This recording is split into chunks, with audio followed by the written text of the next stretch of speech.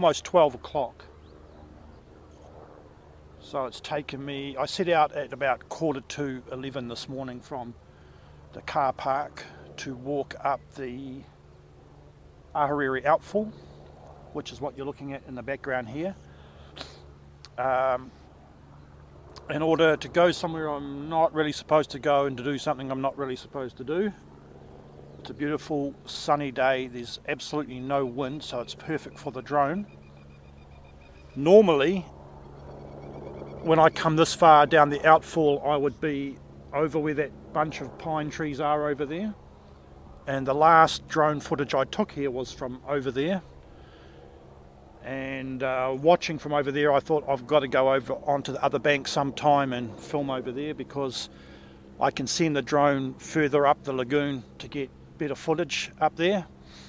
And um, so that was the mission for today and I figured while I was down here I would narrate to you all podcast number 26 which is entitled Pyrolysis. Okay, so now the discussion starts to get serious. and anybody who's watching this podcast who um, has not paid good attention to all of the podcasts previous to this one might start to now find the information difficult to follow. So I strongly recommend before attempting to understand what's going to be discussed in this podcast that all the podcasts up to this point are given a very good look at, especially the last three or four. So, as I said, the title for this podcast is Pyrolysis. And I've discussed previously that the tradition and stream of laboratory alchemy that I follow, I refer to as the Lullian School or the Lullian Stream, because it was uh, the language and the concepts for uh, the stream were first laid down by a guy by the name of Ramon Lull.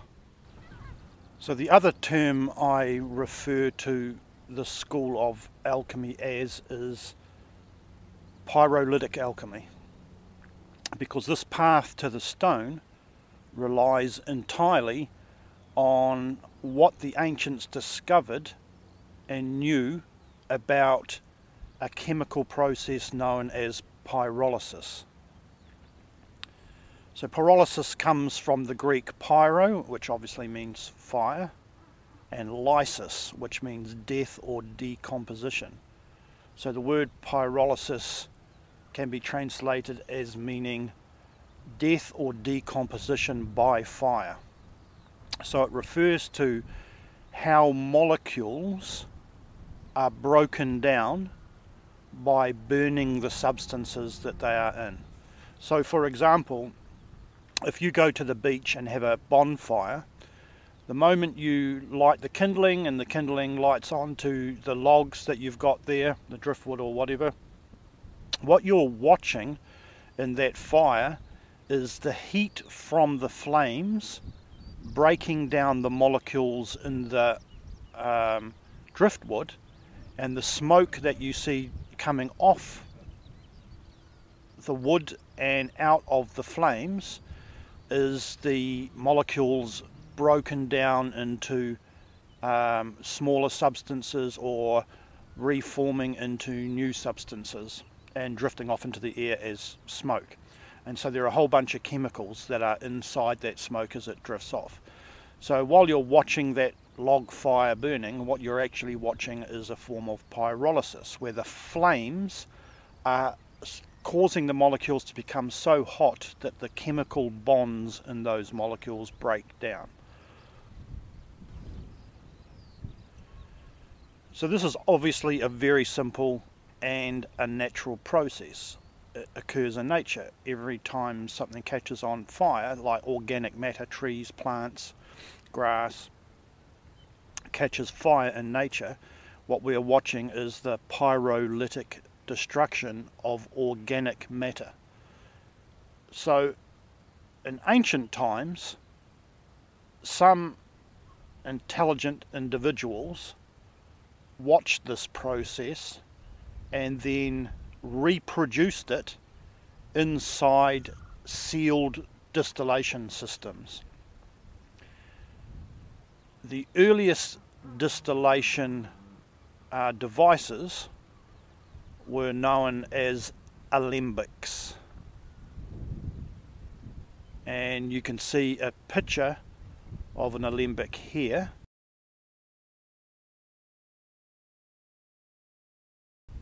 Which is made out of clay, which is more or less very similar to one of the oldest forms of alembic that has ever been discovered,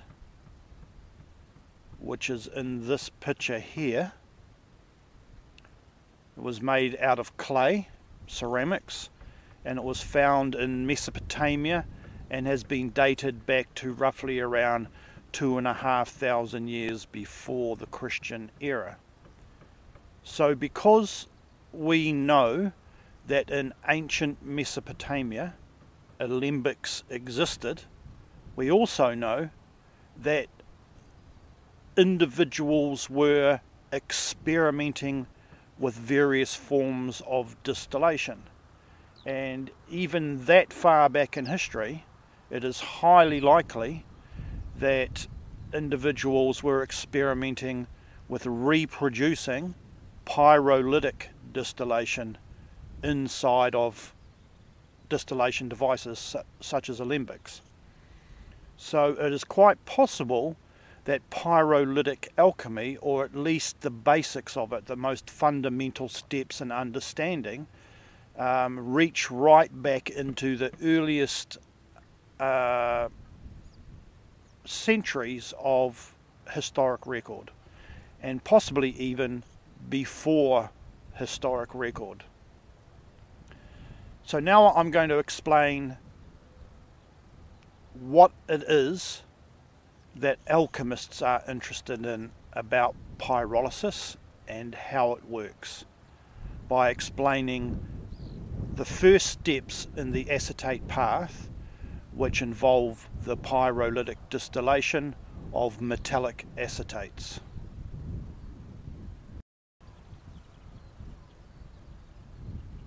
So we know that acetate path alchemists who were working along the lines of the process which Ramon Lull knew about and was working on and described had been practicing alchemical pyrolysis for a very long time.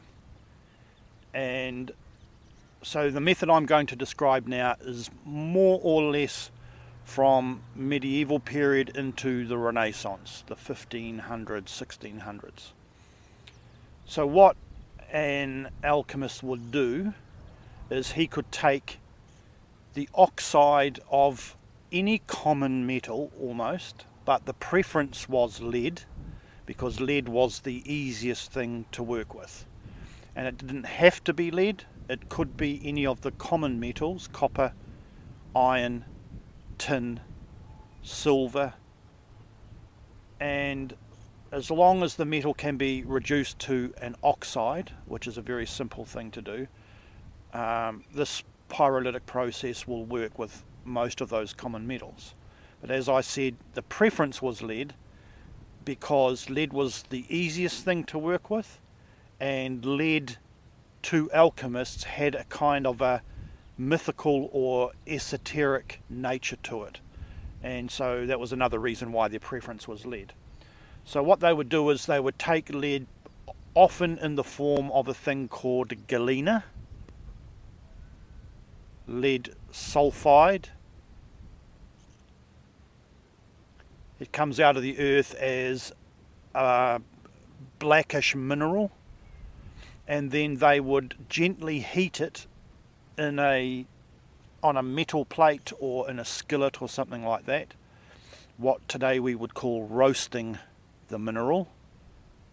And it would slowly um, expel all the mineral sulfur that was bound to it and sublimate the arsenic that was bound to it and leave behind lead and as it was as the sulfur and arsenic were evaporating away, oxygen would attach itself, oxygen from out of the air would attach itself to the molecules of the lead and form lead oxide.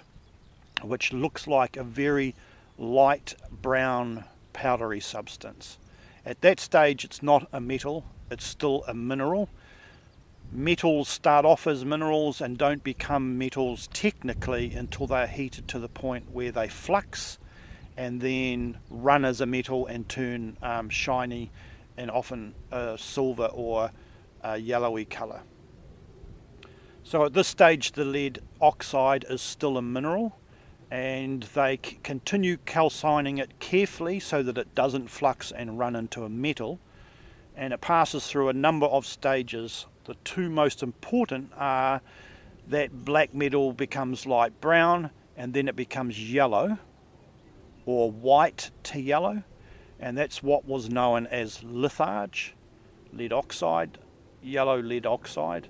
And then it starts to turn orange or pinkish orange colour and then red and that red lead was known by the ancient alchemists as minium. Sometimes they would just refer to it as red lead, but the ancient alchemists of the Western tradition, when they were trying to be secretive about what the substance was, referred to it as sericon. And the name sericon was a rough translation into sort of Anglo Latin of the Arabic term zarquin. And we know that zarquin for the Arabs was red lead oxide. So the old alchemists had various cipher names for red lead oxide. Another common one, which anybody who has read alchemical books would know, is the term adrop, sometimes spelt with a T, atrop, because the word atrop reversed spells the Latin word porta, which means gate. And this hid the concept that minium or red lead was the gateway or the beginning into the process for the philosopher's stone. So we can see in this picture here a pile of orangey red powder.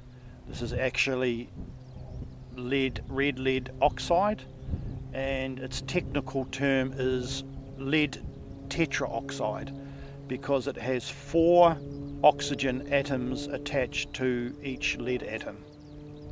This red oxide would then be put into a what we today would call a boiling flask, which is a heat-proof glass chemistry flask that you could put a flame under and the glass won't melt or break at reasonable temperatures. And then they would add to it what they referred to as vinegar, which we today know is dilute acetic acid. When you have vinegar, cooking vinegar, that everybody would be familiar to from their kitchen, cooking vinegar as you buy it in the store is about 4 to 6% usually acetic acid diluted in water and it'll often have some uh, residue from wine because vinegar is the product of oxidized wine. When you make wine, that's grape juice with alcohol in it basically. When the alcohol oxidizes, it becomes vinegar, acetic acid. And that can happen in various ways, but the most common way is that an insect uh, pollutes the wine because it has a bacteria on its mouth parts called Acetobacter, which is a bacteria that metabolizes uh, or drinks alcohol and converts it in its body into vinegar. So um, when the the early alchemists discovered that wine could be converted into vinegar, they experimented with that vinegar and they found out that it had properties that the alcohol in wine didn't have. And one of those properties is that vinegar or acetic acid will dissolve the oxides of some metals. So we put our red lead oxide, our sericon, in a boiling flask and we cover it with a concentrated acetic acid. And for argument's sake at the moment, let's say we're using a solution of acetic acid which is half acetic acid and half clean water, distilled water. Um, the water needs to be there for chemical reasons, allegedly. Um, the old alchemists in the early ages couldn't make fully concentrated acetic acid, so they used various dilutions of acetic acid. So when we mix the acetic acid with the red lead oxide or Sericon, it dissolves some of that lead and that dissolved lead goes into solution in the dilute acetic acid and when the acetic acid dissolves the lead about 4% of the acetic acid bonds to lead atoms and a new chemical is produced which we today know um, in simple terms as lead acetate. So we leave the lead in the solution of acetic acid for a few weeks and we shake it every day in order to encourage the um, dissolving of the lead. After a week or so, about 4% of the lead atoms have dissolved in uh, the vinegar or the acetic acid and then we filter that solution to take out the undissolved lead and now we have a coloured liquid which has 4% lead acetate in it. And the rest of that solution is water and acetic acid more or less. There are some impurities but that's not important at the moment. So we filtered the lead acetate solution to get all the undissolved Sericon out of it. Now we have a liquid which is usually a green colour or sometimes a red colour and that depends on the, the purity and the state of the red lead oxide that we were working with and also the percentage of concentration of the acetic acid. The next stage is to take that lead acetate solution and distill it. And basically what we're doing is we're drawing off the water, the free acetic acid, and we're concentrating down the lead acetate so that we can separate the liquid from the solid parts. So as the as we distill more and more off, the water comes off first usually, lastly comes off the acetic acid, and then as it concentrates down and gets thicker and thicker, the lead acetate becomes very gummy and sort of gel-like, and then as long as we're very careful not to burn it, it, in the end it turns into a kind of a waxy substance. So while it's in that sort of a gummy jelly stage, the old alchemical adepts referred to this as the gum of Sericon. In other words, Sericon converted into a gum like substance. Now, because they had distilled off the liquid, they more often than not believed, because they either didn't bother measuring carefully the quantities of what was going in and what was coming out, and the amount of acetate that's lead acetate that's produced is only 4%, so it's a very small amount. They believed that when they were stilling off the water and the acetic acid in order to reduce the gum and coagulate it, make it thicker, more gel like, they believed that they were distilling off all of the vinegar that they had put on. So when they looked at the green gum, they believed that what they were looking at was just lead, that they had got all of the vinegar out of it, and that this gummy lead was the same thing as the original red lead, the original Sericon, but that somehow the vinegar, specifically the acetic acid, had changed the nature of the lead and had reverse engineered it back into the chaos of lead. In other words, a kind of mythical condition in which lead begins in the earth before it actually becomes lead as a mineral. The alchemists believed that all things, all things living, and all inanimate objects such as metals, salts, uh, stones, bone, animals, plants, all have their own chaos from which they evolve.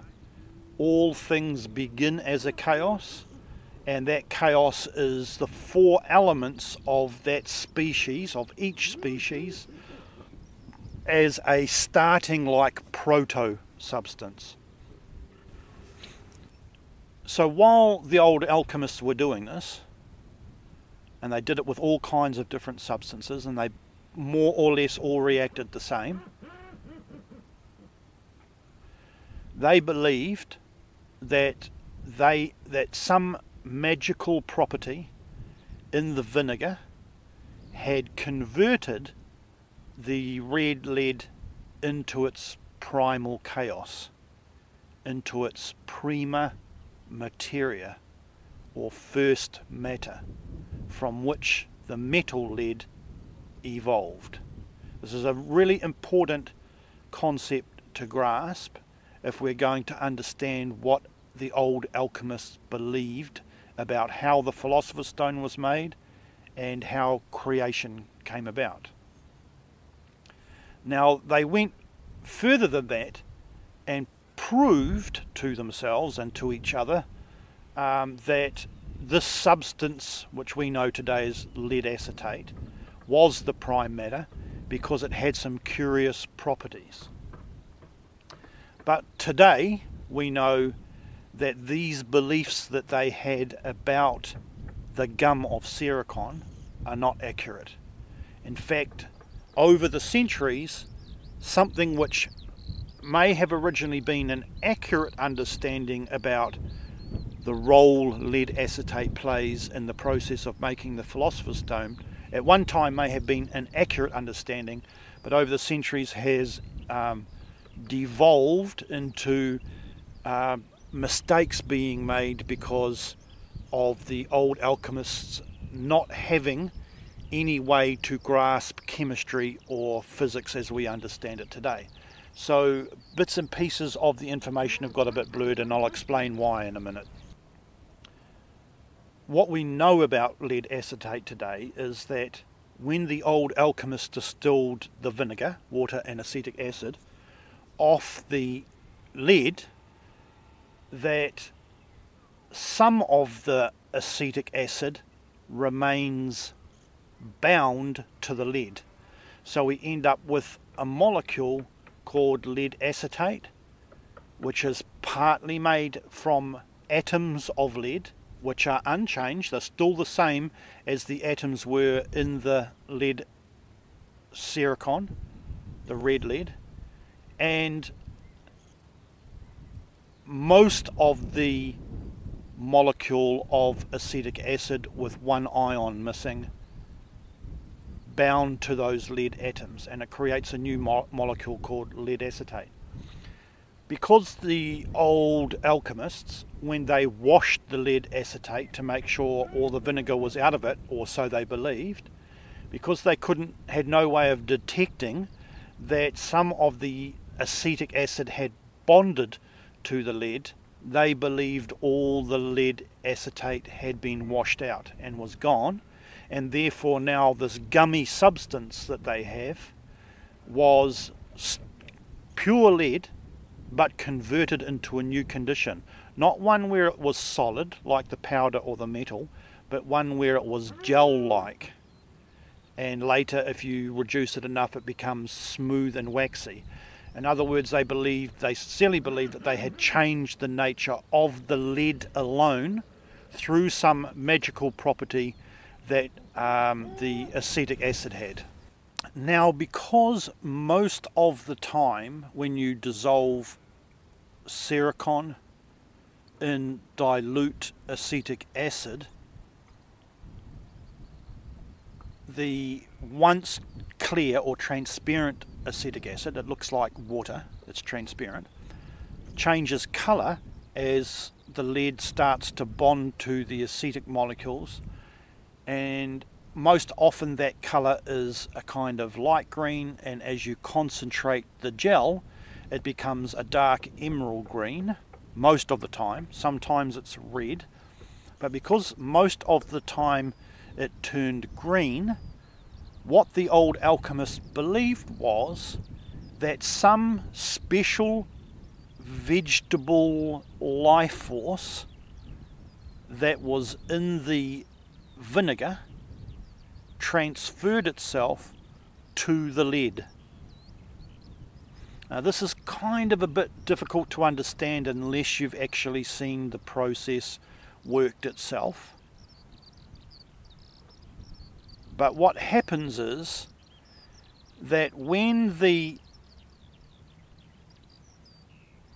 acetic ion attaches itself to the lead atom, something happens to the acetic ion, and I believe it's that it changes its geometric shape, what in chemistry they call a change in isomer, and that change of ge ge um, geometric shape of the acetic ion causes the acetic ion to also change colour from being transparent to being green or sometimes red. So how the old alchemists interpreted this was that they believed, first of all, they since they believed that the gel was entirely lead and that there was nothing else in there, and we know that's not true, there are acetic ions in there. Since they believed it was entirely lead, they believed that the lead had changed its colour from black to green.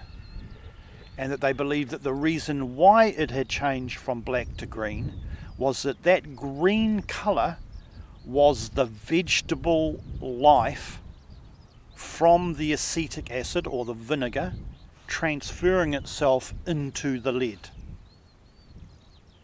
because they identified the colour green with the plant kingdom.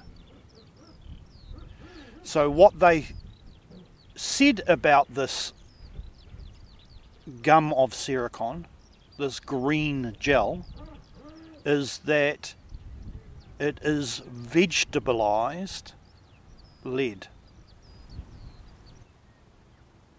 So the kind of cipher name that they used for this gum of Sericon, this green gel of lead acetate, was the green lion. In other words, the word lion was a cipher for the substance of the philosopher's stone, and the word green was a cipher for the vegetable life force in the plant kingdom. So, in other words, the green lion was the substance of the philosopher's stone now vegetabilized. This is an important concept because the old alchemists really believed that the vegetable life force was intimately responsible for the actual act of transmutation that the philosopher's stone could produce once it was made successfully. And they believed this because they believed that the acetic acid, remember that acetic acid, vinegar, comes originally from alcohol and that that alcohol came originally from grape juice, the fermentation of grape juice, and grapes are part of the plant kingdom. So, um, in this way, they believe that vinegar is a plant substance, and they believe that because that vinegar had some unusual power to convert lead back to its chaos, that acetic acid had the power of transformation, or more and more accurately, transmutation. That there was some special property in vinegar because of the way it came about, that it was like the spirit drawn out of the vegetable kingdom, that it contained a special power that could change the nature of metals. So, one of the things the old alchemists often said about the beginning of the process for making the stone, that is the great work, they said that we can't begin the great work until our crude matter, which is sericon, lead oxide, is first reduced to its prima materia. One of the other ways they said this is the great work can't start until you find or make the prima materia of the stone. So, in other words, you needed to know the secret substance which had the secret power to convert lead into its own chaos. So many of the old alchemists took it upon themselves to speak about vinegar and acetic acid in cryptic terminology so that nobody would easily discover what this first solvent in the great work was. Of course, eventually that knowledge came out, and a lot of uh, acetate path alchemists openly said we use vinegar or concentrated or distilled vinegar um, in order to begin the work of um, making the Philosopher's Stone. Of course, everybody else also knows that the other thing that they tried to hide, or that some alchemists tried to hide, was the name of the crude matter. What was the first substance that alchemists took in hand in order to produce the Philosopher's Stone? So they used all kinds of cryptic names like um, the lead of the philosophers or antimony, which is uh, another mineral which has properties kind of almost similar to lead because it looks a bit like lead and it behaves a little bit like lead during the great work. They also used names, of course, like sericon and minium. And we've got to remember that back in the very early days when alchemy first came into Europe, nobody really knew about chemistry. There were people who were doing processes that involved chemistry, but nobody really knew anything about chemistry, even the most basic concepts of how different chemical substances react together. So it was very easy for the early alchemists to use what we would consider today to be very lame kinds of ciphers in order to cover up the names of the substances that they were using.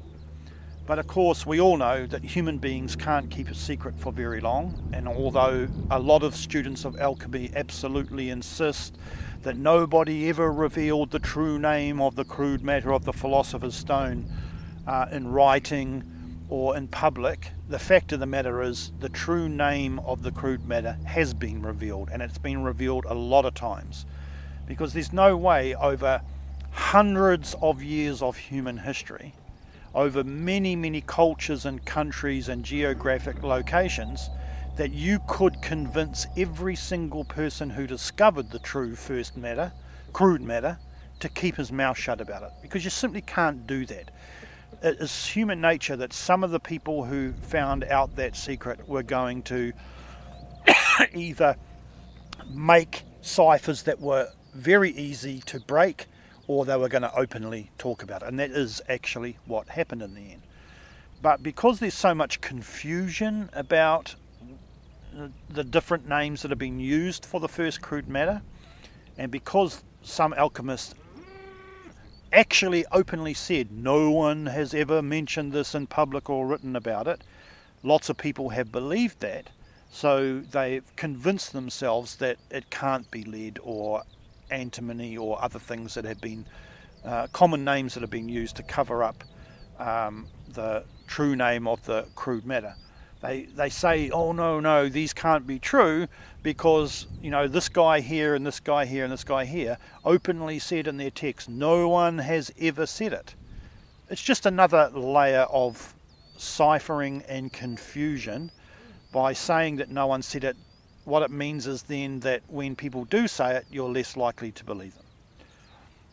Today we know things are not that complicated. It wasn't a deep, deep, deep secret. It was, of course, back in the early days of alchemy because nobody really knew about these things and the information was easy to hide. But by the 21st century, there isn't much that we really don't know about chemistry and concepts of what's possible between various chemicals as far as reactions are concerned. Okay, so where do we get to? I'm ranting. Where do we get to? Um, here we now have a green gummy substance which was called most commonly the gum of Sericon and or the green lion. They're the two most common names. And what we today in chemistry know as lead acetate. The alchemists believed that this was the original chaos of the metal lead and therefore now that we had the chaos we could begin the great work. So metaphorically speaking, when alchemists were talking about the stages of the great work, they stuck another layer of confusion into uh, the explaining of the process and said that the great work began right here. It began once you had the chaos of the metal. In fact, we know, we already know now that there are a few processes that lead up to that you need the vinegar and you've got to produce it and you've got to concentrate it and you need the red lead and you've got to calcine galena until it um, is roasted down to the red oxide stage then you've got to combine the lead and the vinegar dissolve the lead filter it reduce that sub uh, that um, solution of lead acetate down until you get the gum. So there are various stages leading up to getting the gum. But in order to confuse people, they would use a kind of a cryptic way of discussing the first stage of the work, and they would say that the work begins with the gum of Sericon, or the chaos, or what we call acetic. Uh, lead acetate. They say that the work begins with the gum of Sericon or the chaos because metaphorically, in a way, that's actually true because the chaos of the elements is the very first thing in nature that God took in hand in order to begin the process of creation. Okay, so here we have our lead acetate. We now take this green gum and we put it into a boiling flask we rig that boiling flask up to a distillation train.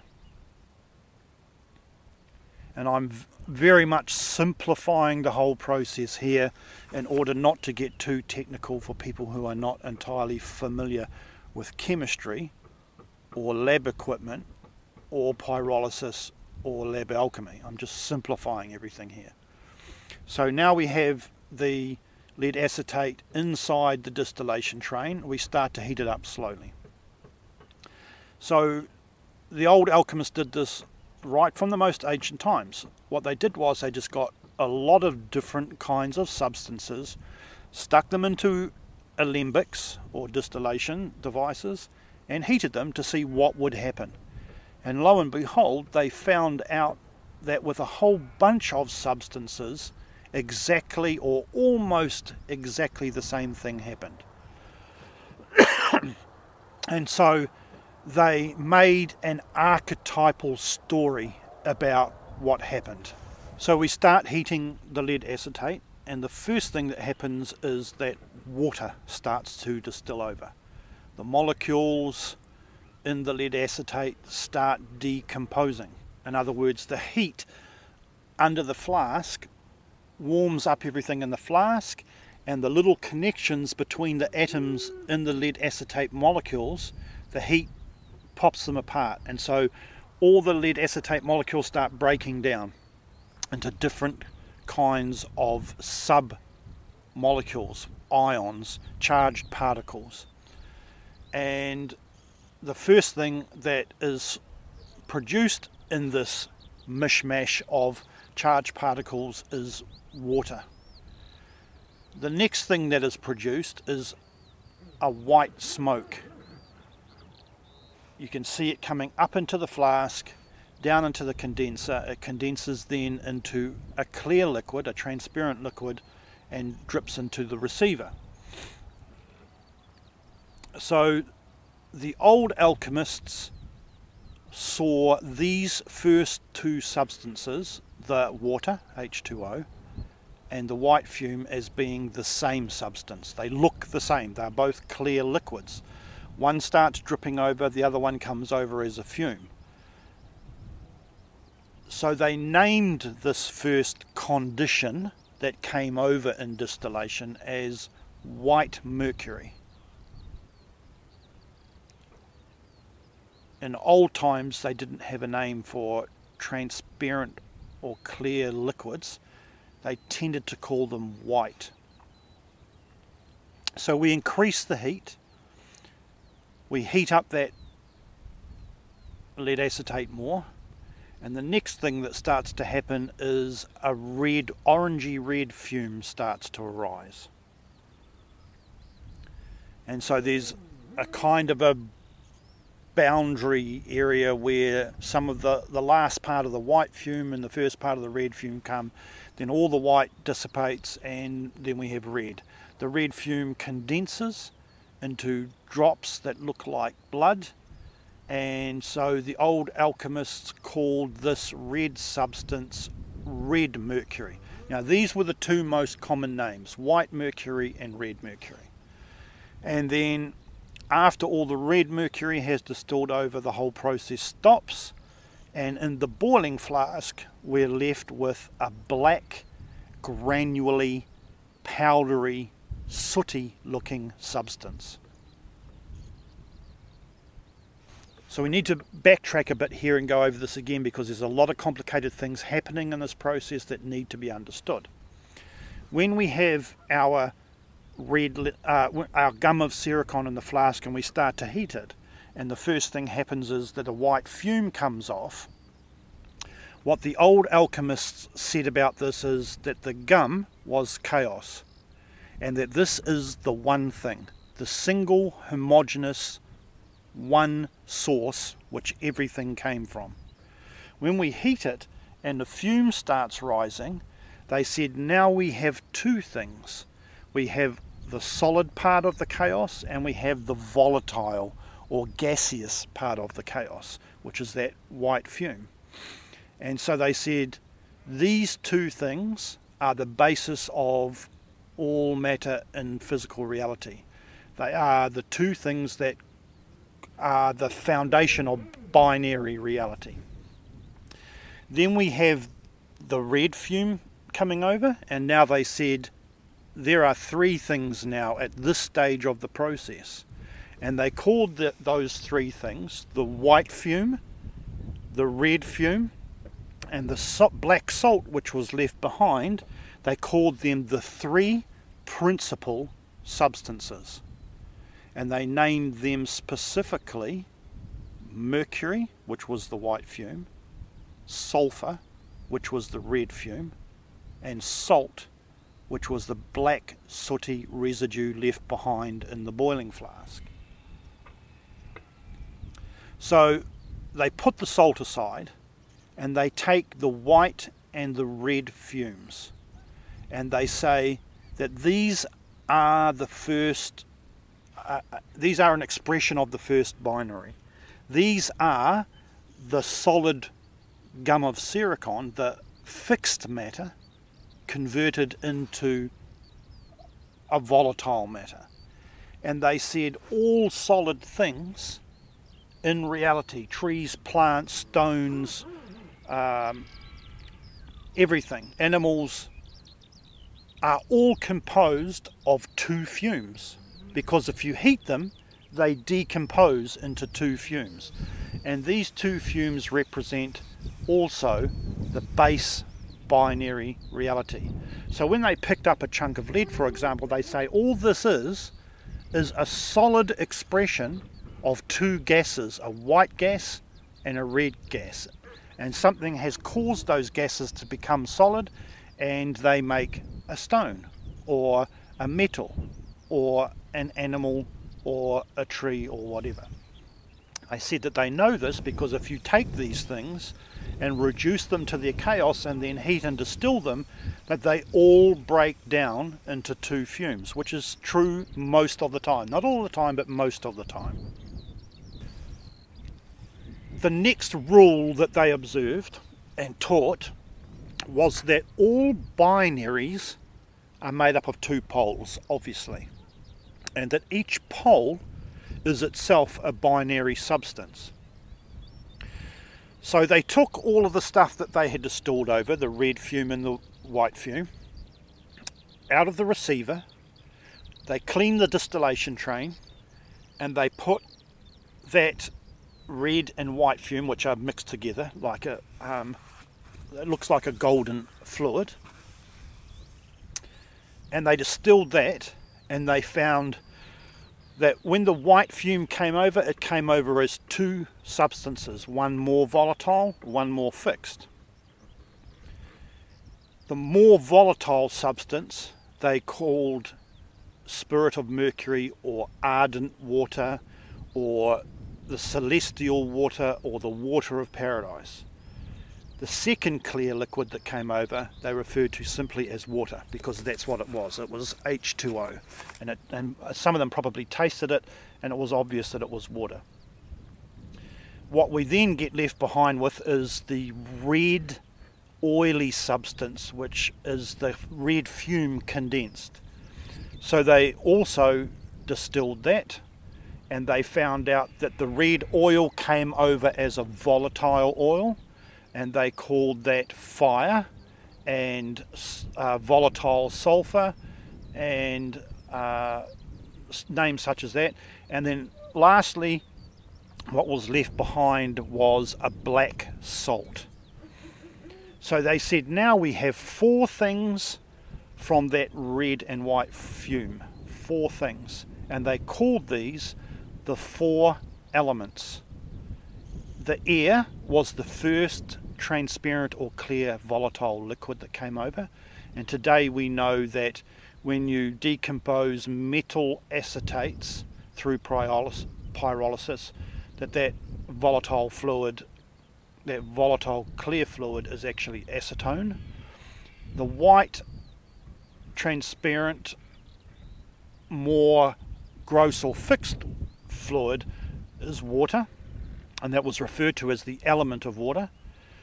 The red volatile oil was referred to as the element of fire, and the black salt was called the element of earth. So we, this is where we get the four elements from.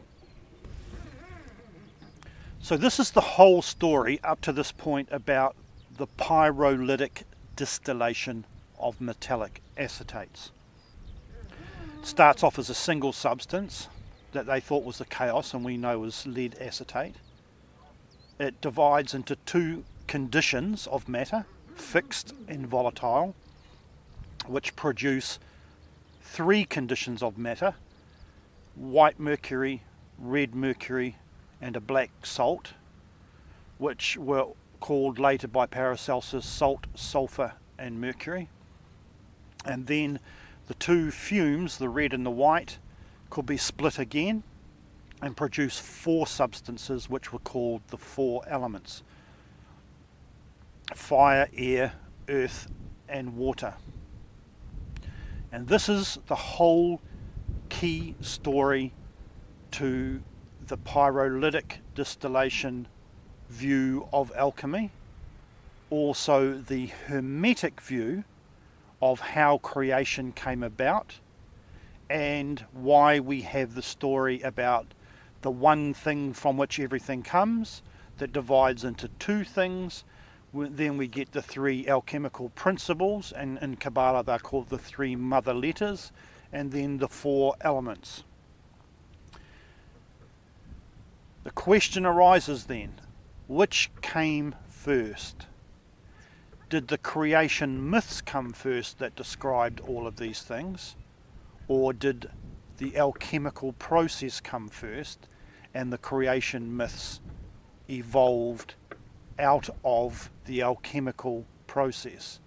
Did people pyrolytically distill things in alembics in ancient time over and over and over and analyze that situation and think to themselves, this is what matter is composed of. This is how creation came about, and then developed creation myths based on that?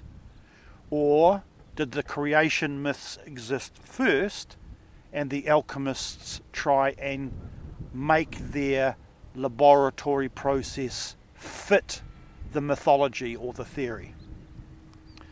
It's my belief that the lab process came first. That people were doing this lab work and then using what they saw in the lab work and evolving a esoteric mythology out of what they saw. Okay, so one last thing I'm going to talk about in this podcast while I'm laying the foundations for an understanding of what pyrolytic alchemy is all about.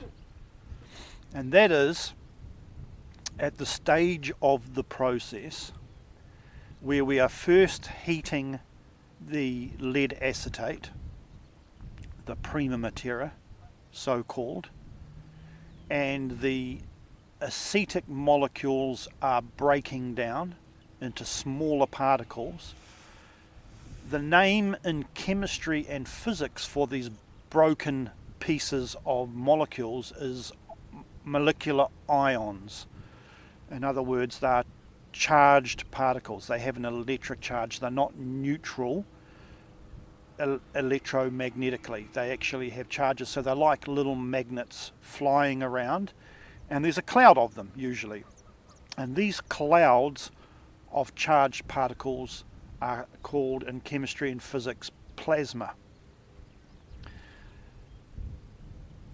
These particles stay separate and fly around only as long as the heat that they are bathed in is enough to stop them clicking together again like little magnets. But as the particles rise up in the boiling flask, and there's very slight variation and it's getting cooler towards the top of the flask, these bits of um, the lead acetate particles start to smack back together again. And when they do that, they don't reproduce the same lead acetate molecules that they were in the beginning. They actually produce new molecules. This concept is something that even some of the most advanced and educated alchemists in modern time who know a lot about chemistry and stuff have no idea about this. They just didn't click onto it, and it's essentially important because that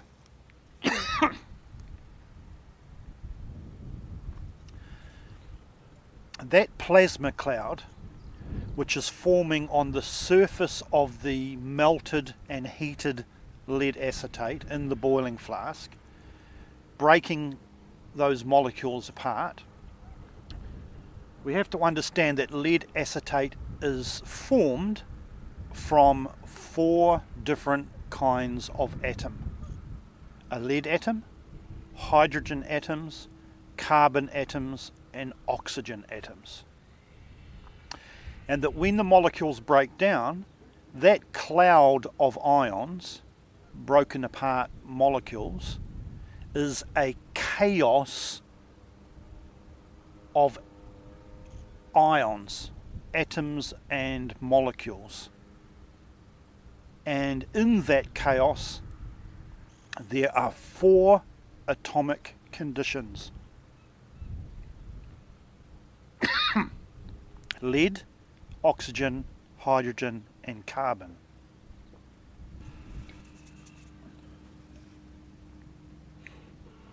So, what we can say about this is that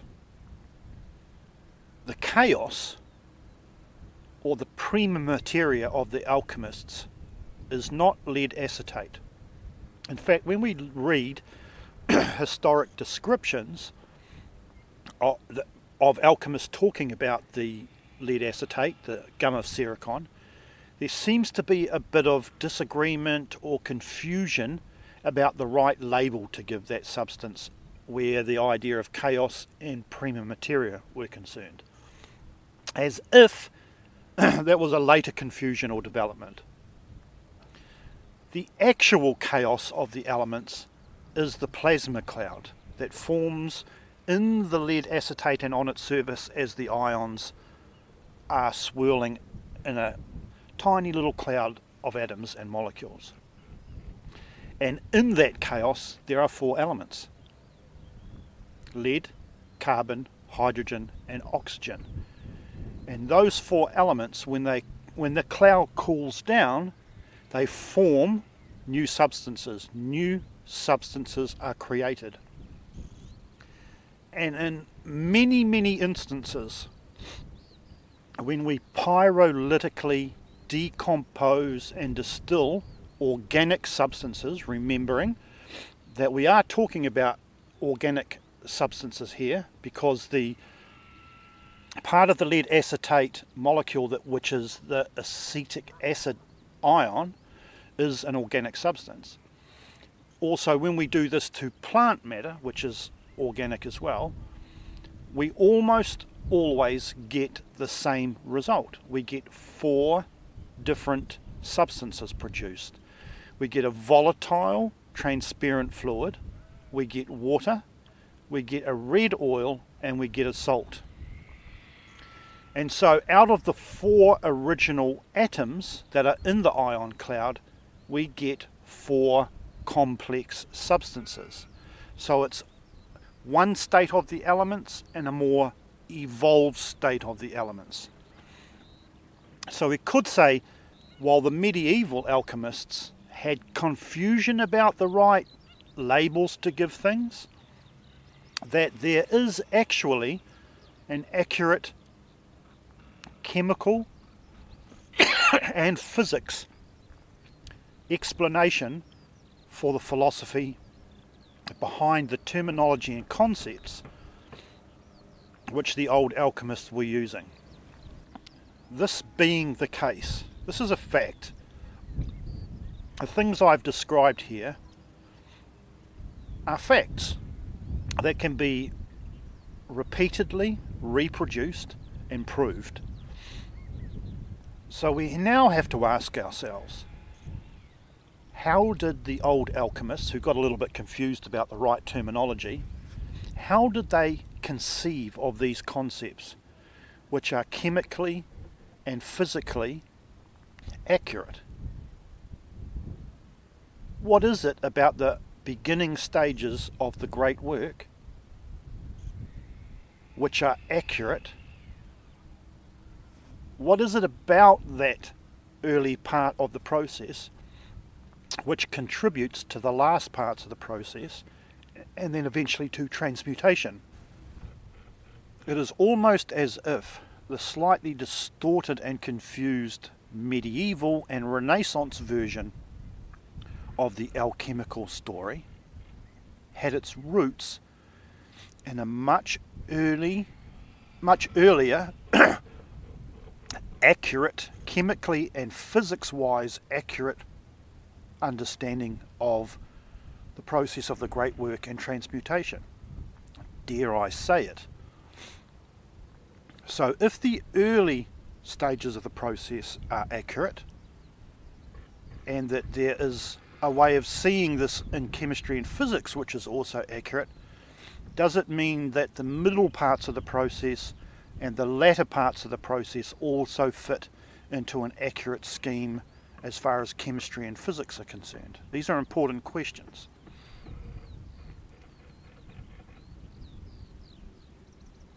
For now, I think that's all we're going to talk about today in this podcast 26. It's a lot of information to take in. I know some of you are going to have to listen to this several times before you click on what you're saying. Hopefully, while I'm recording this out in the field, the diagrams that I have put aside to slot into the video footage and my explanation will all fit neatly and it will help um, visually elabor- elaborate on what I've been describing here. So, thanks very much for watching. Um, I'm not quite sure yet what the next podcast is going to be about, but it will be the next step on from what I've already described. I'm not sure whether it will be the next step in the lab process or a further development of the ideas and theories which I presented in, in this podcast. But we've still got quite a bit to discuss about these early stages yet and the ideas and the language that we use to describe um, the opening salvo in the acetate path. Great work.